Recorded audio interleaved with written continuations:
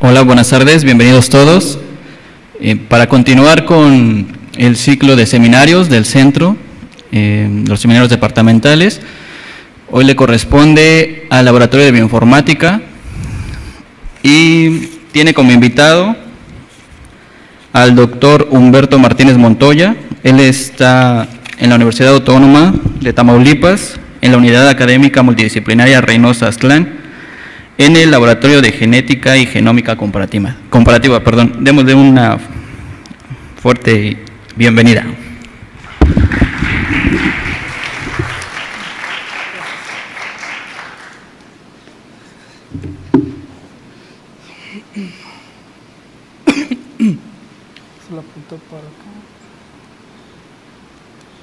Ok, uh, bueno, buenas tardes y gracias eh, eh, por la invitación a la maestra Sochi y al laboratorio de bioinformática. Eh, y ahorita les voy a estar hablando un poco de eh, eh, la secuenciación que hicimos del genoma de espiroplasma, que es básicamente un simbionte de uh, moscas drosófila. El título que yo le puse a esta plática es el protocolo de ensamble para genomas fastidiosos, entre, entre comillas, el caso especial de espiroplasma HID1. Eh, le puse fastidioso porque, como ustedes saben, los que tengan un, un background en microbiología, las cepas fastidiosas son aquellas que no, no se permiten o, son muy difíciles de cultivar. En este caso, eh, yo elegí la palabra fastidioso para este genoma porque realmente fue muy complicado hacer el ensamble, siendo que fue eh, un genoma bastante pequeño de dos mega, eh, megapares de bases. Eh, aún siendo tan pequeño, eh, dadas las circunstancias del sistema, que es una bacteria simbiótica con un artrópodo que es drosófila, las condiciones de ensamble fueron realmente complicadas.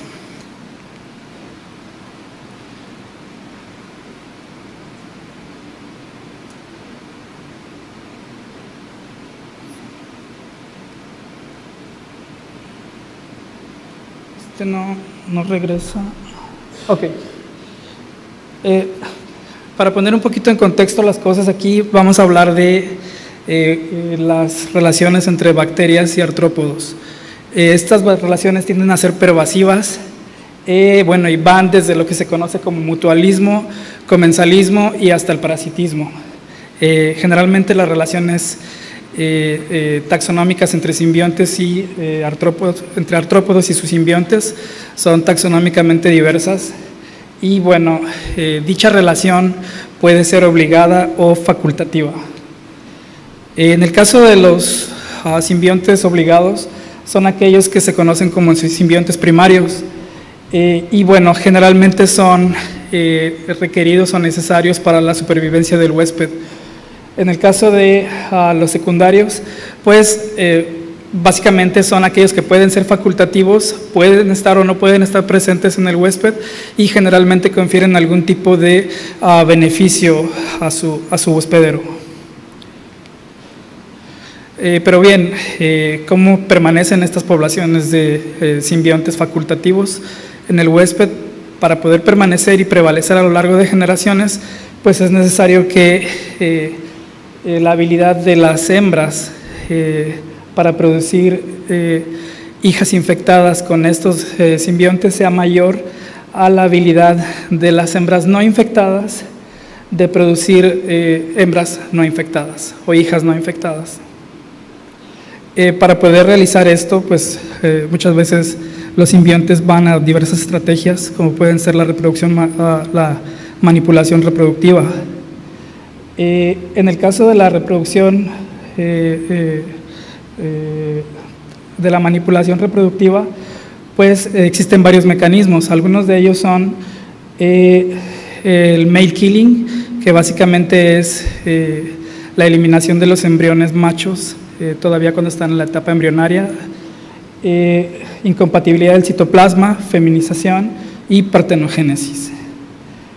Básicamente la reproducción, la, la manipulación de la reproducción va está enfocada u orientada a modificar la reproducción del huésped para poder incrementar su propia transmisión. Eh, y bueno, aparte de la reproducción, de la manipulación reproductiva, existen otros mecanismos como es los beneficios fitness en el huésped y estos pueden, pueden ir tanto desde, por ejemplo, un mutualismo defensivo o mutualismos nutricionales, en los cuales el simbionte provee al huésped eh, la habilidad de adquirir eh, o adquirir de, una manera más eficiente algunos nutrientes comparados con aquellos huéspedes que no tienen eh, el simbionte. En el caso de el, mutualismo defensivo, pues básicamente es la protección que el, que el simbionte va a proveer hacia el huésped eh, contra diversos enemigos naturales o contra, o contra virus o patógenos como bacterias.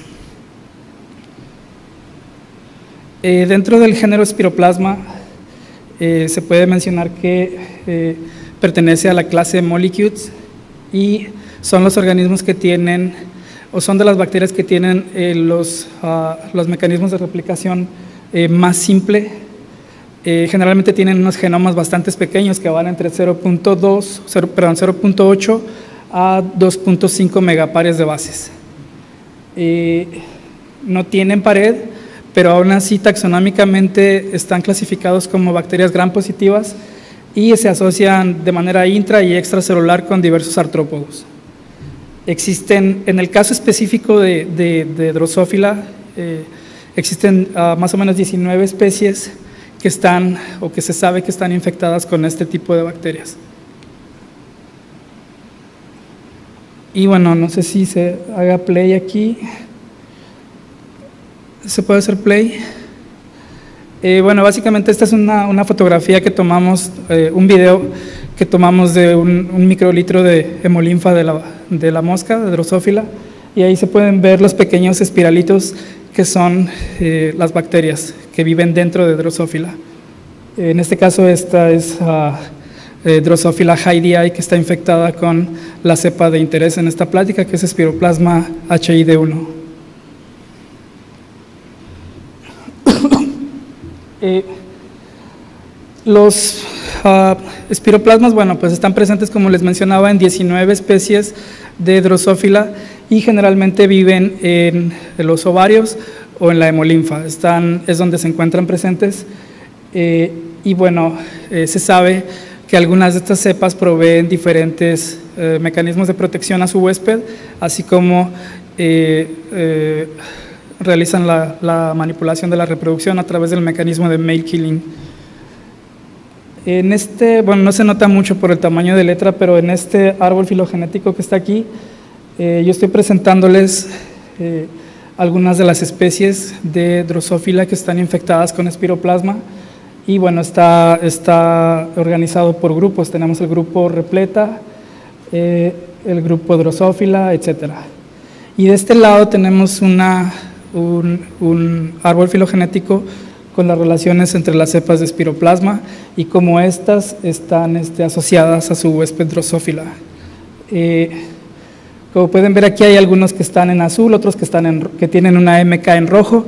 Las cepas que tienen MK en rojo eh, son cepas que se sabe que proveen o que son eh, manipuladores de la reproducción a través del mecanismo de male killing y los azules son eh, conocidos como simbiontes defensivos. Igual en algunas especies de Drosophila protegen contra nemátodos y en otras contra el ataque de parasitoides. Eh, también, bueno, eh, los que tienen ah, una estrellita negra son aquellas cepas de espiroplasma que ya tienen eh, su genoma secuenciado. es importante notar que en este árbol no todos los espiroplasma están asociados con todas las drosófilas. muchos de ellos están asociados con otro tipo de artrópodos o con otro tipo de incluso organismos todavía más alejados filogenéticamente. Eh, ya enfocándonos solamente en el modelo espiroplasma con drosófila, eh, tenemos eh, que, bueno, existe, existen esos efectos que yo les mencionaba de espiroplasma sobre el huésped drosófila.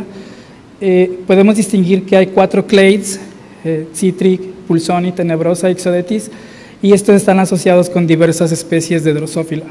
En el caso de los cepas de espiroplasma que, están, que pertenecen al clade Citri, sabemos que eh, Spiroplasma citri mojavensis eh, infecta a Drosophila mojavensis. Ese es otro de los proyectos de secuenciación de genoma de espiroplasma que yo estuve eh, realizando. Eh, en el caso de Pulsoni, es el clade donde se sabe más acerca de la relación o del mecanismo por el cual espiroplasma persiste en las poblaciones.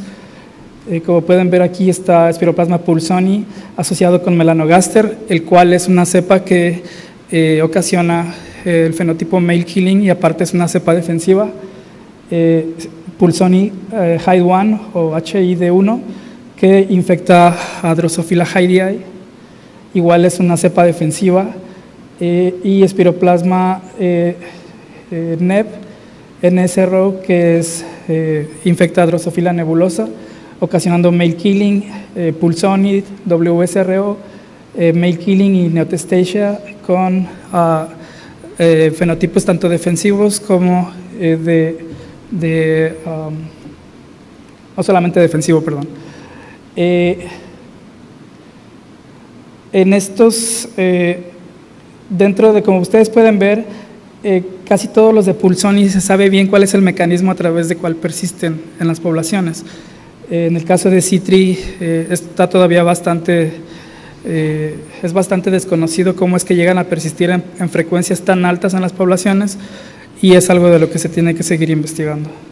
Entonces, bueno, básicamente la plática que yo estoy eh, dando aquí se va a enfocar en esta cepa de aquí, Spiroplasma pulsoni, eh, el cual es un ah, mutualista defensivo de Drosophila hydeae.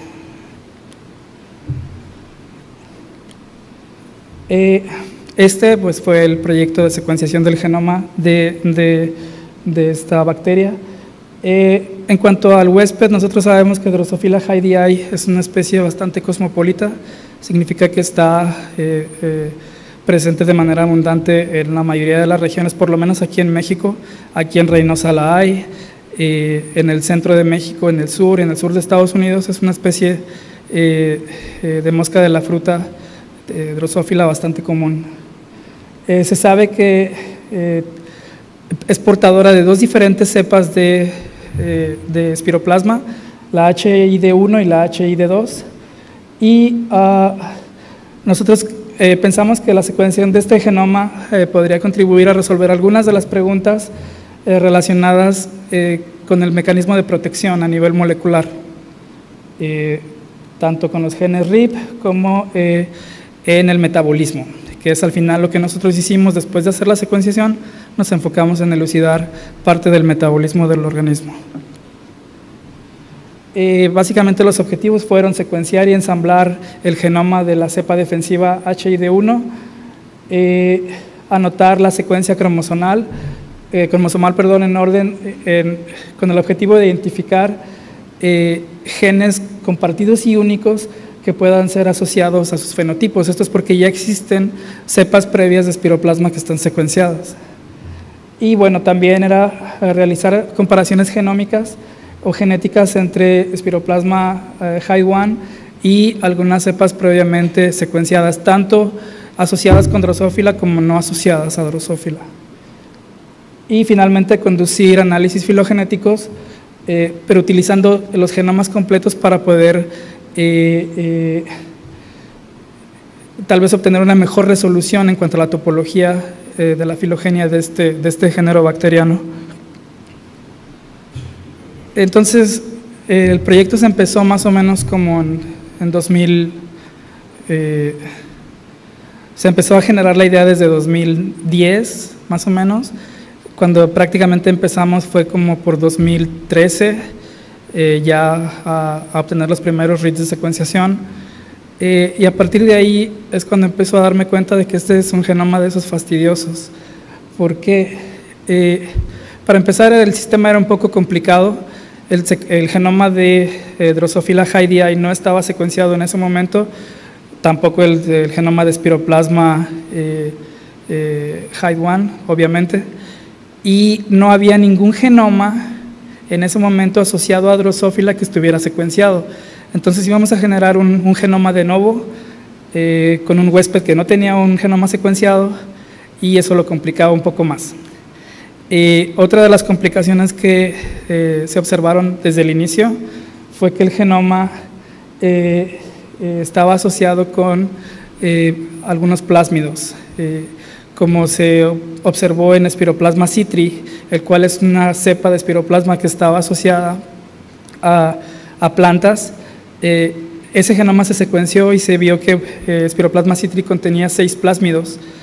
Y bueno, eh, dentro de esos plásmidos había regiones repetitivas que también complicaban un poco el cerrar los cromosomas y tal vez los mismos plásmidos. Y bueno, eh, como les decía, uno de los primeros genomas secuenciados pues fue, eh, fue uh, Spiroplasma citri.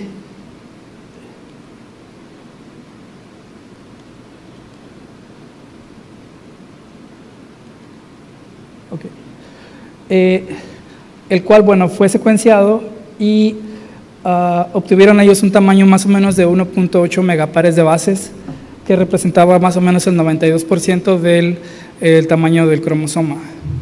Eh, generalmente una de las características que tienen este tipo de bacterias es que tienen un bajo contenido de GC y ah, en el caso de, de eh, Spiroplasma citri en particular había una cantidad grande de plásmidos asociados, así como las secuencias repetitivas que les digo que venían de, eh, de fagos.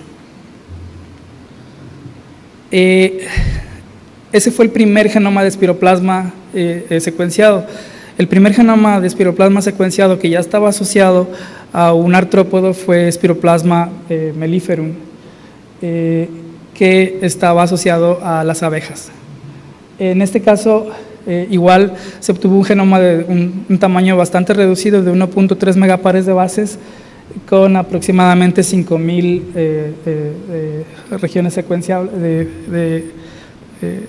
codificables pero bueno, eh, los, eh, los, genes anotados solamente eran 1023, representando el 81% de la secuencia de nucleótidos. Eh, igual, se puede observar que el contenido de GC en esta especie también era, era bastante bajo. aún cuando ya existe un gran número de genomas de espiroplasma secuenciados, que no son fastidiosos como este, y eso me refiero a que la mayoría de ellos fueron, fueron cultivables, y entonces al ser cultivables podías tú obtener un gran, una gran cantidad de ADN eh, y podías llevar a cabo la, la secuenciación casi de manera rutinaria. Eh, en el caso de Drosophila, los, las cepas no son cultivables. Eh, se intentó como quiera de varias maneras. se intentó utilizar otros organismos que tuvieran más hemolinfa como tipo bioreactores para poder eh, sacar el espiroplasma de Drosophila, inyectarlo en un nuevo, en un nuevo huésped más grande y tratar de, establecer una colonia infectada de otro organismo. Entonces de ahí generar más, eh, eh, más cantidad de bacteria para poder llevar a cabo la secuenciación. Ese fue un enfoque. Otro enfoque fue cultivar en un medio drosófila artificial la bacteria, pero tampoco funcionó. Entonces, realmente la bacteria no se iba a dejar cultivar y lo que se tuvo que hacer al final fue obtener de miles de moscas drosófila eh, todo lo que se pudiera de la hemolinfa, juntarlo en una sola muestra y a partir de ahí hacer las librerías y, llevar a cabo la secuenciación. Eh,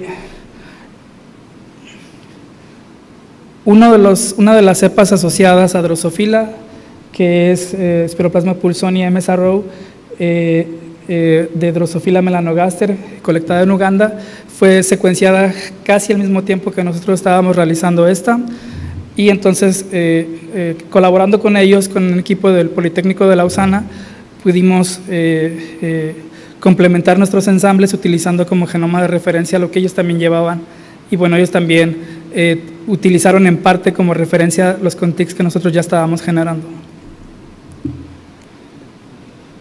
Entonces, el mayor problema aquí en secuenciación del genoma de espiroplasma es que todas las cepas que están asociadas a Drosophila son complicadas y no son imposibles casi de eh, cultivar, aparte de que eh, tienen la presencia de plásmidos y tienen la presencia de zonas repetitivas eh, de fagos.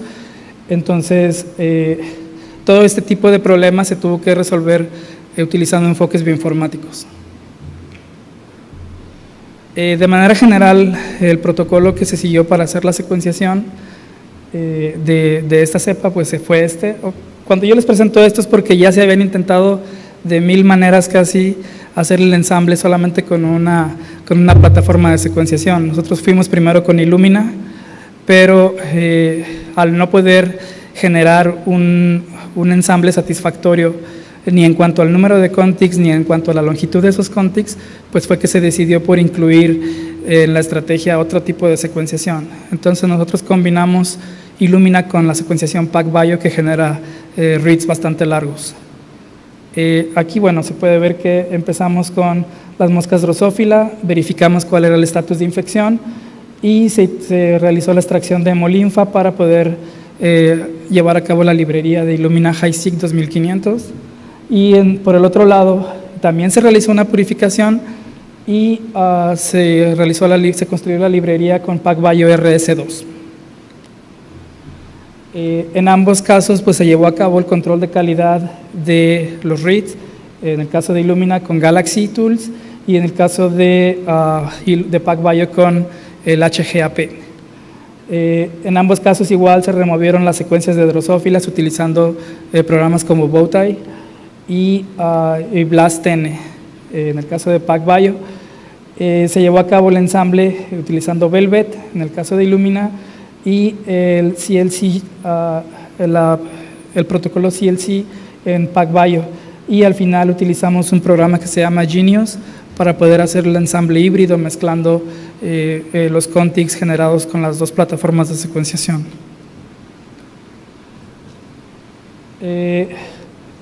Eh, una vez que nosotros tuvimos el, eh, el draft o el número de contigs eh, eh, adecuado, pues procedimos a hacer la anotación del genoma, donde identificamos los Open Reading Frames utilizando Prodigal y la anotación se realizó con el programa, con el algoritmo Hammer. y bueno, los, uh, los pathways bioquímicos se elucidaron utilizando la enciclopedia de genes y genomas de Kioto, el KEG. Eh, los análisis filogenéticos se realizaron, eh, dado que era, estábamos utilizando genomas completos, se utilizó un programa que se llama Filoflan y uh, se utilizaron también eh, eh, métodos de maximum likelihood y de bayesianos. Entonces, bueno, eh, la cepa que nosotros obtuvimos era eh, TEN 104-106, colectada originalmente en 2004 en el centro de México, en, precisamente en el estado de México. A partir de una sola hembra se generó esa isolínea y se ha mantenido eh, durante ya casi eh, 12, 13 años en el laboratorio. Eh, esta cepa está en el laboratorio de eh, la doctora Mariana Mateos en la Universidad de Texas A&M. Y bueno, aquí lo que hicimos fue hacer la disección de los ovarios, purificar el ADN y verificar que eh, eh, estuvieran infectadas utilizando eh, primers específicos. Utilizamos tanto primers específicos para ver si estaba espiroplasma como para ver si había otro tipo de simbiontes asociados a los ovarios o bueno, a otro tipo de simbiontes heredables asociados y por eso utilizamos un par de primers que era bastante general. Eh, los, como les decía, se hizo la librería de, de PacBio, de, perdón, de Illumina, y uh, realizamos al final el ensamble eh, utilizando solamente eh, este, este protocolo. Eh, la mayoría de los análisis bioinformáticos se llevaron a cabo en el clúster del World System Genomics Initiative en uh, Texas A&M y bueno, El ensamble, una vez que nosotros tuvimos los reads de secuenciación, el ensamble se llevó a cabo utilizando el programa Velvet, el cual, bueno, eh, tal vez ahorita los que estén haciendo secuenciación de genomas o ensamble de genomas vayan a decir que es un, es un programa que es bastante eh, costoso en términos de memoria para las computadoras, y sí lo es, ahorita ya hay mejores opciones, pero en ese momento se realizó con Velvet. Eh, y bueno, en Galaxy eh, se realizó el control de calidad, eh, nosotros eh, a través de, Blast fue que generando los contigs íbamos a separar todo lo que fuera el huésped, que es drosófila, y todo lo que fuera espiroplasma y todo lo que fuera desconocido. Entonces obtuvimos tres diferentes conjuntos de reads. Casi el noventa y tantos por ciento de ellos era el huésped, menos del 5% eh, era espiroplasma. Eh, al final, bueno, pues dividimos eh, los reads, ah, perdón, los contigs que se generaron en dos grupos. Uno, que eran las secuencias que eran similares a secuencias de espiroplasma reportadas previamente, incluyendo tanto cromosoma como plásmidos, y otro que eran secuencias con ah, no similaridades con ninguna otra secuencia reportada previamente. En el caso de PacBio, eh, igual se llevó a cabo la, purificación, la construcción de la librería y se utilizó eh, eh, un, un cassette completo, una línea completa de lo que es la, plataforma. Eh, en este caso también removimos los contigs de Drosophila utilizando eh, Blast y nos quedamos solamente con aquellos contigs que pudieran ser espiroplasma o que pudieran ser otro tipo de cosas.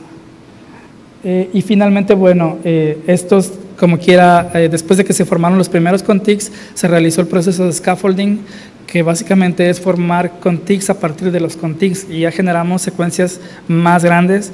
Esto se realiza eh, cuando se trabaja con secuencias PacBio a través de la plataforma de ellos que es, puede ser en CLC o puede ser en el HGAP. Eh, cualquiera de los dos programas puede realizar eh, el ensamble. Como les decía, la anotación se realizó con Prodigal, buscamos los Open Routing Frames con Hammer, eh, y realizamos el, estudio de, eh, de los eh, pathways con KEGG. también calculamos el core genome, que básicamente es el genoma nuclear, ya que teníamos disponibles bastantes secuencias de espiroplasma pertenecientes a otros, asociadas con otro tipo de huéspedes, pues buscamos cuál era precisamente ese core genome o el mínimo genoma necesario que compartían todas las cepas de espiroplasma. Eh, y bueno, a partir de eso se puede inferir también cuál es el genoma variable, que ese puede ser el genoma que está asociado específicamente a ciertas cepas asociadas a ciertos huéspedes.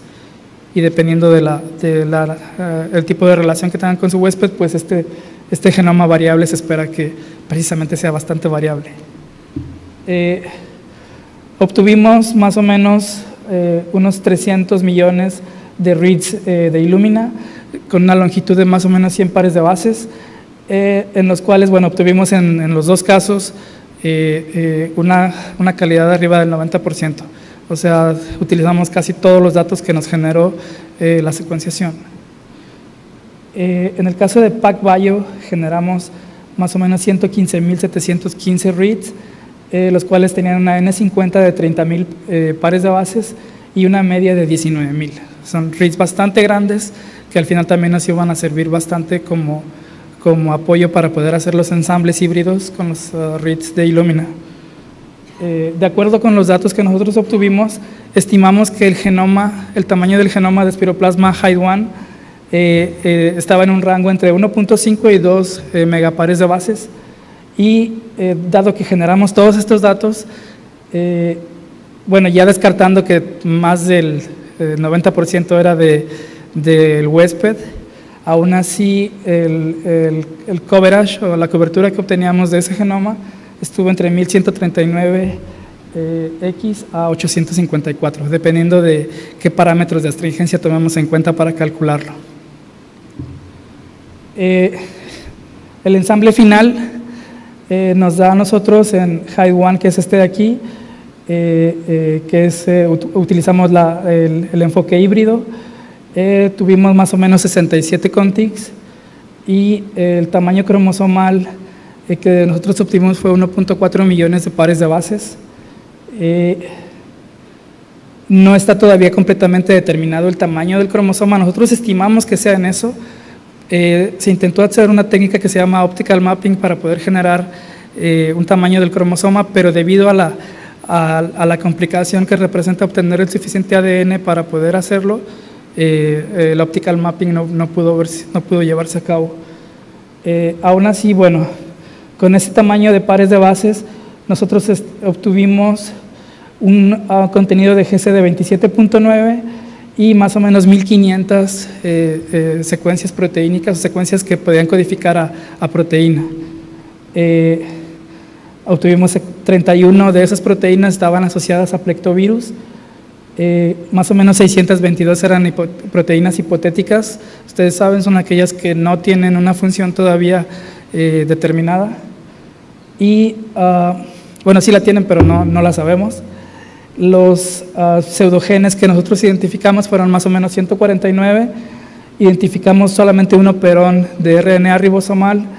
Eh, obtuvimos 32 eh, secuencias de RNAs de transferencia que incluían todos los, eh, los 20 aminoácidos más selenocisteína y más o menos eh, estimamos, bueno, encontramos secuencias plasmídicas, lo cual nos sugiere que tal vez exista más de un plásmido presente en espiroplasma High 1.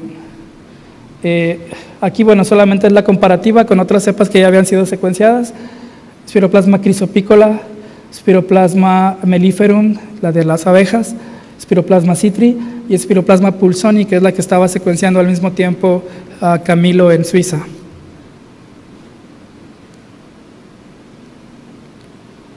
Eh, comparando eh, la secuencia que obtuvo Camilo con la que el cromosoma, el draft del cromosoma que generó Camilo con el que generamos nosotros, pues teníamos que eh, espiroplasma de Drosophila haidii es un poco más pequeño que el de melanogaster, este es el de melanogaster, este es el de nosotros, y como pueden ver todavía había bastantes zonas eh, pequeñas, que estos son contigs, cada línea roja es un contig, y teníamos todavía eh, este, algunas decenas de contigs que estaban en un tamaño bastante pequeño.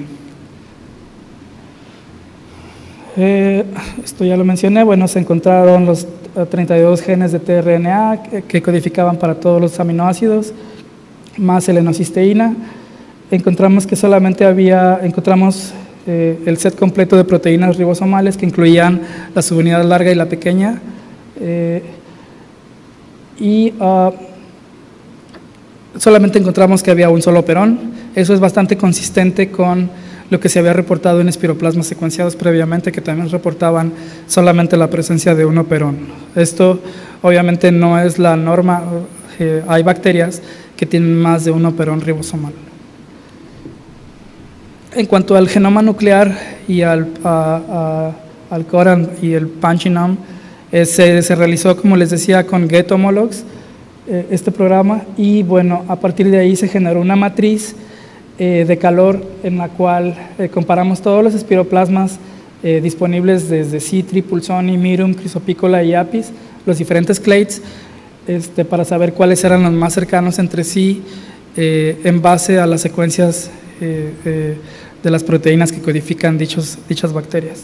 Y bueno, pues como era de esperarse, nuestra, nuestro mapa de calor fue bastante coincidente con el mapa o con el, análisis filogenético que hicimos. En cuanto a los mecanismos de recombinación, reparación y ah, replicación, encontramos toda la maquinaria eh, necesaria en espiroplasma high 1 eh, pero bueno, encontramos algunos datos interesantes como que en Pulsoni de eh, melanogaster no está presente el gen REC-A, el cual es crucial para poder llevar a cabo los mecanismos de recombinación. entonces, nosotros se lo comunicamos a, Camilo en Suiza y pues ellos estaban hipotetizando que tal vez eh, el gen eh, está presente, pero está, es bastante divergente tal vez en esa cepa, porque si definitivamente no está, y en, en la de nosotros, en One sí está presente el RECA, que es, es parte del mecanismo de recombinación homóloga. Eh, en cuanto a energía y metabolismo, nosotros pudimos determinar eh, esta es, una, esta es una, una, gráfica un poco simplificada, pero pudimos determinar todos los pathways bioquímicos eh, de síntesis de carbohidratos en la, en la célula en espiroplasma. Eh, aquí tenemos, por ejemplo, la glucosamina, el ácido acetilmurámico, fructosa, trealosa, glucosa, y cómo entran a la célula y dentro, bueno, pues ya se lleva a cabo el ciclo de, de glucólisis. Eh, aquí, bueno, estoy comparando solamente tres cepas, espiroplasma eh, de, de, melanogaster, la que secuenciamos nosotros, 1 y mojavensis. Eh, los que están en rojo es que significa que esa cepa carece de ese transportador o de ese gen. Esto es bastante interesante porque, como ustedes pueden ver, trealosa, en el caso de trealosa, las tres cepas de espiroplasma carecen del gen transportador para que trealosa se pueda incorporar y pueda ser metabolizada en espiroplasma. esto es bastante eh, paradójico debido a que precisamente el azúcar más común en la hemolinfa de los insectos es trealosa y ahí es donde vive espiroplasma.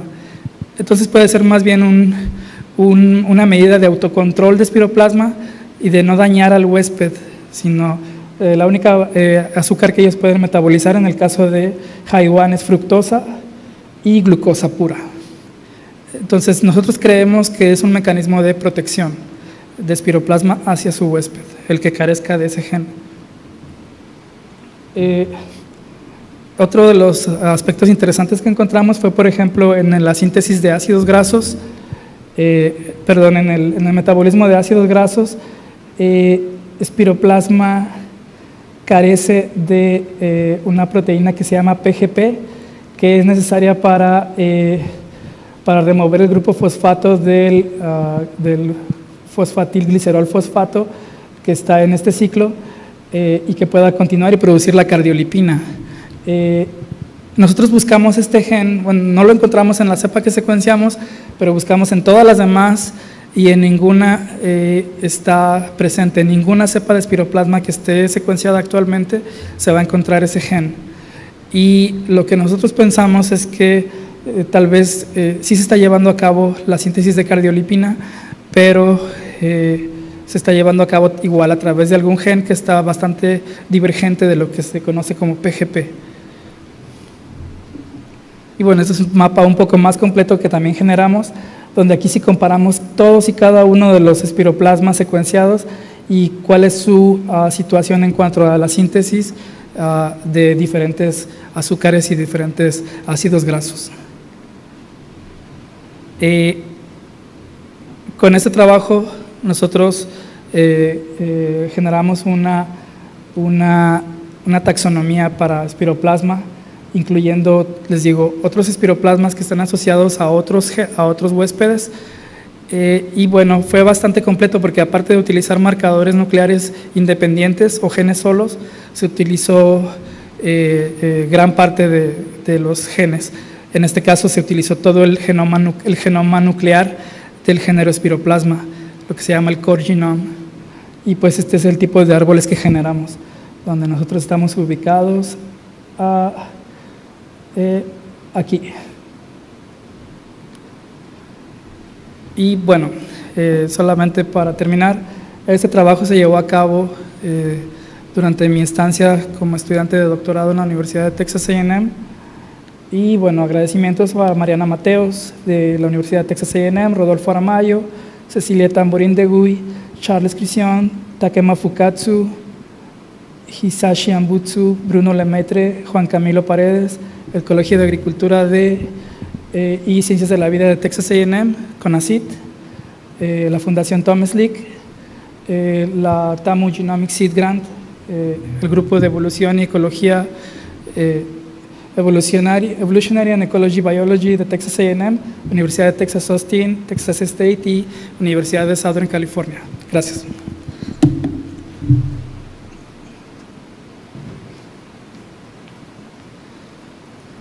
Agradecemos al doctor Humberto. e iniciamos la sesión de preguntas. ¿Alguna duda? A ver, por favor.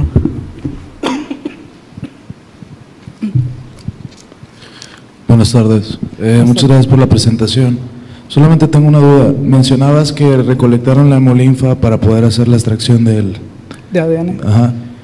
Pero era, es tal cual así, o sea, tomaban las, a las moscas y juntaron toda la hemolinfa, o tuvo algún otro pretratamiento o post-tratamiento. Ah, bueno, es una muy buena pregunta. Eh, nosotros lo que hacíamos es que hicimos una punción en el cefalotórax y uh, centrifugábamos en lotes de varias mosquitas, de varias drosófilas, utilizando tubos Eppendorf y se drenaba la hemolinfa. Así fue que se fue haciendo eh, para hacer una, una, extracción de ADN que generó más o menos 47 nanogramos de DNA de doble cadena utilizado para Illumina. Se utilizaron más de mil moscas. Eh, para tratar de evitar un poco la contaminación con genoma del huésped, lo que se hizo fue que se filtraron los hemocitos de la hemolinfa de la drosófila. Eh, ese fue un pretratamiento, como tú mencionas, y uh, se dejaron fuera. Aún así, pues muchos de estos hemocitos se rompen durante el mecanismo y por eso es que nosotros vimos bastante cantidad de RITs pertenecientes a, a drosófila. Yo tengo una pregunta. Sí. Eh, la primera es, ¿por qué utilizaba el ensamblador solo Velvet y no lo compararon contra otros ensambladores? En ese momento sí lo comparamos contra otros ensambladores. Eh, tiene ahorita, bueno, eh, este, año, este año estuve en un, en un taller de informática en República Checa y obviamente platicamos de los ensambladores y de cuánto, cuánta memoria consumen. Y sí, utilizar ahorita Velvet para un proyecto de este tipo es, es bastante malo, no es el recomendable. Eh, tú te puedes ir con otros, con otros ensambladores, tal vez el mismo programa Genius ya tiene algoritmos mejorados que eh, te optimizan un poco más el uso de la memoria de la computadora. Y la segunda es, ¿hicieron el ensamble de nuevo o lo hicieron con una, eh, alguna referencia? ¿Y cuál sería mejor? Al principio fue un ensamble de nuevo. Después cuando supimos que Camilo en Suiza estaba haciendo otro, un, un espiroplasma asociado a otra mosca drosófila, fue que entre los dos nos complementamos. Eh, y una cosa que ahorita que tocas ese tema que no mencioné, es que durante el proceso de la secuenciación del genoma, un grupo de Estados Unidos, me parece que de, de Ohio, empezaron a hacer la secuenciación del genoma de Drosophila hydei, porque entonces estábamos utilizando para separar los reads como, como, como referencia a Drosophila melanogaster. Pero al final, bueno, ellos nos facilitaron el, el draft del genoma de HiDi y podemos hacer una, pudimos hacer una, una mejor separación de, de, las secuencias de espiroplasma y de Drosophila. Gracias. Sí. ¿Alguna otra pregunta?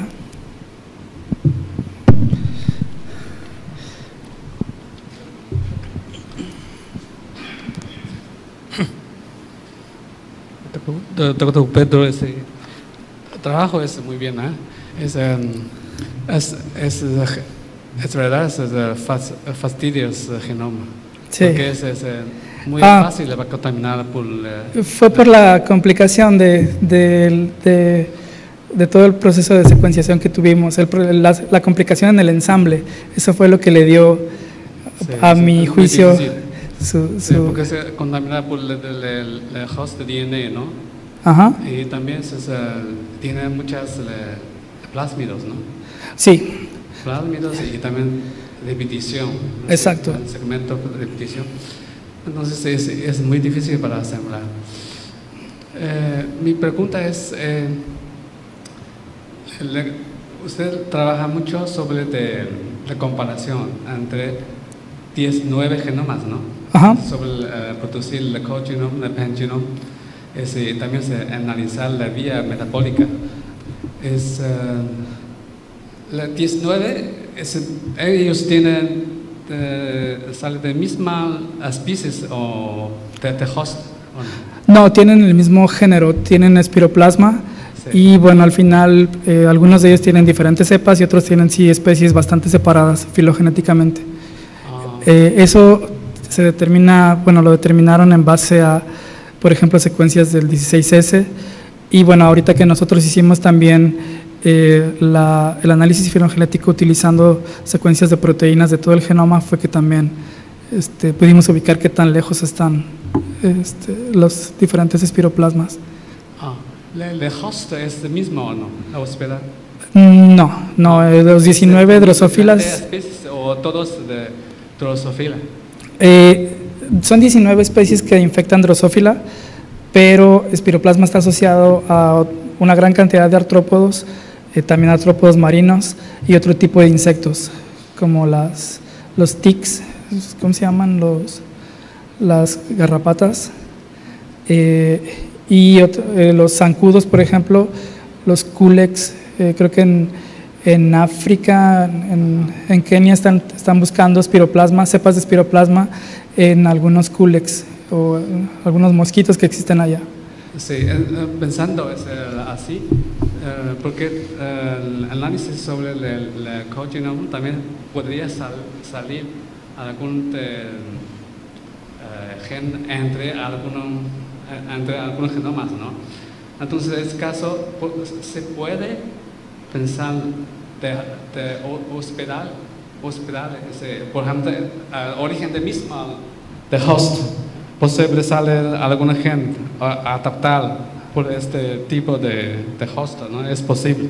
Sí, sí, sí es posible. Sí, Entonces yo pienso, pensando ese, eh, eh, analizar mucho sobre la vía metabólica, precisamente es muy, es muy bien, pero se podría pensar algunos con fenotipos. Sí. Contact- la conexión con algunos fenotipos es, eh, también es muy interesante el resultado, ¿no? Sí, sí, claro. Eh, de hecho, este genoma eh, ahorita ya lo tenemos eh, en NCBI, está, está subido, pero todavía no está liberado. Y no está liberado porque eh, todavía eh, hay otro grupo que encontró otras cosas interesantes con un nuevo genoma de espiroplasma. Y bueno, eh, estamos colaborando con ellos para poder sacar al final un artículo un poco más, más robusto y que compare ya varias cepas nuevas que están asociadas a, diferente, a, a drosofilas y cuáles son los efectos que tienen en, el host. Pero yo creo que ese artículo se está escribiendo, bueno, estamos en el proceso de escritura y esperamos que para el próximo año tal vez esté listo. Para su sepa, es el, eh, finalmente sale 67 cónticos, finalmente, ¿no? Ah, son 67 contigs. Todavía. Eh, es que esto de los genomas es de nunca acabar. Nosotros podemos seguir haciendo ensambles y podemos encontrar todavía algunas mejoras y podemos reducir un poco el número de contigs, pero ya vamos a llegar a un punto en el que no se puede no se pueden juntar más porque por la presencia de esas mismas secuencias repetitivas de fago. Sí, usted también usa la, la tecnología de secuencia- de secuenciación esa con PacBio, ¿no? Y nómina ambos o solo uno. ¿Cómo? Eh, eh, secuenciación, usar la técnica de secuenciación de, de dos campos, uno es PacBio, ¿no? Sí, Y otro es eh, Illumina. ilumina. Ambos usar, ¿no? Ambos. Sí, Ambos. el, al final el enfoque fue el ensamble híbrido entre PacBio e Illumina. Si usar la PacBio, normalmente ellos pueden usar el fragmento muy grande, ¿no? Sí, sí, pero el problema con PacBio es que eh, tiene más o menos 17% de error en, en el cada read, entonces esos reads tienen que ser todavía corregidos y uno de los enfoques para hacer la corrección es utilizar eh, los reads de Illumina que precisamente tienen, eh, o puede ser con los reads de Illumina o puede ser con genomas de referencia, pero eh, pues tomando en cuenta que los que ya teníamos los reads de Illumina y que estos tienen menos del, del 0.6% de error, pues eh, fue bastante factible hacer la corrección con ellos. Gracias. Gracias. Doctor, bueno, sí. Eh, ¿Podría comentarnos eh, qué parámetro fue el decisivo para decir, sabes que ya no hacer más ensambles? Porque una vez que te metes y quieres hacer más y quieres mejorarlo y mejorarlo, pero llega un momento en que dices, ¿sabes qué? Hasta aquí. No sé si fue, el- incluso puede ser el tiempo, eh, puede ser quizás de que el interés no era cerrar completamente el genoma, sino simplemente tenerlo en context y ahí analizarlo. Eh, pero sí es importante, bueno, es eh, curioso siempre ver el, el momento en que dices, ¿por qué ya no seguir ensamblando? Sí, Eh, es buena pregunta también. Eh, ¿Por qué no hacerlo? Tú puedes seguir generando tal vez eh, secuencias, puedes ah, seguir secuenciando, vamos a decir, o vamos a hacer otra línea de Illumina, o vamos a generar otra, otra secuenciación PacBio, pero es como una gráfica, como si tú generas tantos reads que los datos al final tenemos una cobertura de más de 1000x y al final pues llegas a un momento en el que tú no vas a poder cerrar un cromosoma porque no tienes eh, manera de saber, por ejemplo, primero, cuál es el tamaño exacto de ese cromosoma, porque no podíamos hacer un, un optical mapping de ese cromosoma. Entonces, ese es un parámetro. Sabes que tenemos tantos datos, tenemos tanta cobertura, que ya no es posible seguir haciendo ensambles. Eh, puedes tú jugar todavía con condiciones de astringencia o de no astringencia para hacer los, para hacer los ensambles de ADN, pero eh, una vez que terminaste también con condiciones altas y bajas de astringencia, eh, lo único que te queda es, bueno, vamos a hacer la anotación y si tú encuentras eh, que, por ejemplo, tienes todos los tRNAs, ese es un buen, un buen indicador de que al menos en la información que tienes no estás perdiendo nada que sea necesario. Eh, igual genera, encontramos todos los tRNAs, encontramos el operón de RNA completo, este, y bueno, el número de proteínas comparado con otros eh, genomas de espiroplasma secuenciados previamente era bastante consistente. Entre, ellos presentan entre 1000, 1500 hasta espiroplasma eh, eh, o CITRI como 2000 eh, genes. Si tú ves al final el genoma, el genoma nuclear, nosotros que encontramos que ese genoma era de como 600 genes y también estaban completos.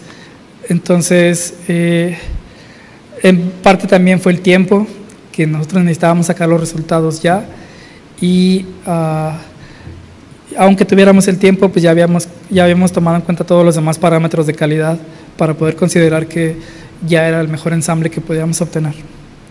Gracias.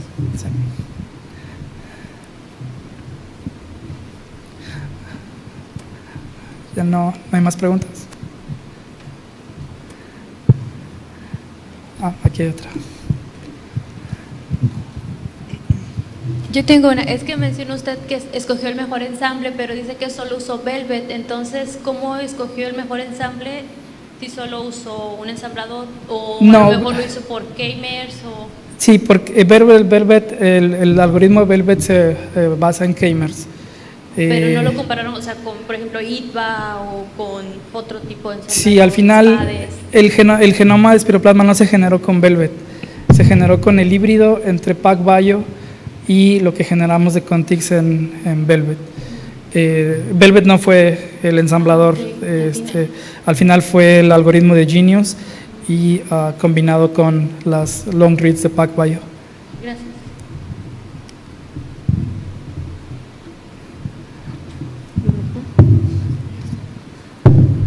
¿Alguna otra duda? Pues bueno, eh, le agradecemos al doctor Humberto por su participación en los seminarios. Este, pues bueno, sería todo. Muchas gracias. Un fuerte aplauso, por favor.